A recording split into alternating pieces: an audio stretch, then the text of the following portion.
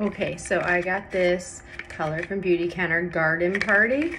It, I'm really excited to try it. I haven't opened it yet. And this one is completely out of what I normally wear. So I am going to open it with you and try it on.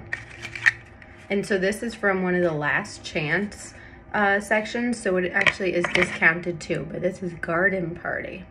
So let's try it out. Ooh. Definitely not what I'm used to, but I'm loving it. Let me know what you think. Is this in your wheelhouse? Is this a color you would try?